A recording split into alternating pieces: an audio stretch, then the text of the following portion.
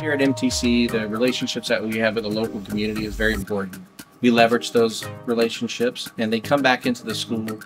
They talk about the reality and they share what they're looking for as an employer, what skill sets are required to have an immediate success once they, you know, enter the field of barbering. I like to leverage ex-students that, you know, successfully completed the program and when they come back in, they share that transition, what it was like in year one or year two or now that I'm in year five. They talk about all the fears and anxiety they had and how those slowly went away as they, you know, made their transition out into the field.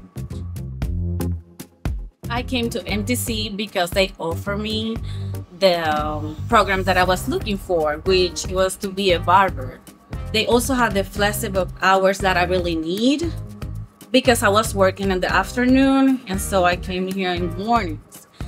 Also, they had the education, the tools and the trainings that I really need I was in the classroom studying with the textbooks and stuff like that, workbooks. And then after that, we were on the floor over here and we did different kind of haircuts, perms, braids, relaxer color, beards, facials.